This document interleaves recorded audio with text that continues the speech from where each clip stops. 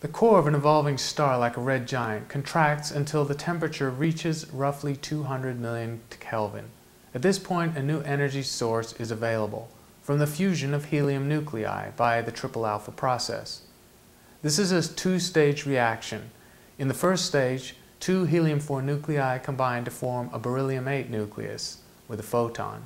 And in the second stage, a beryllium-8 nucleus combines with a helium-4 nucleus to form a carbon-12 nucleus with a photon released.